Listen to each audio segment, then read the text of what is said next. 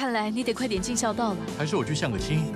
哎呀别念了你怎么听不懂我的话？老公你是企业家不是慈善事业家。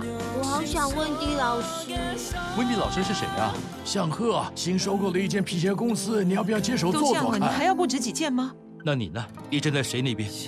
周一至周五晚上八点中天娱乐台我也是妈妈。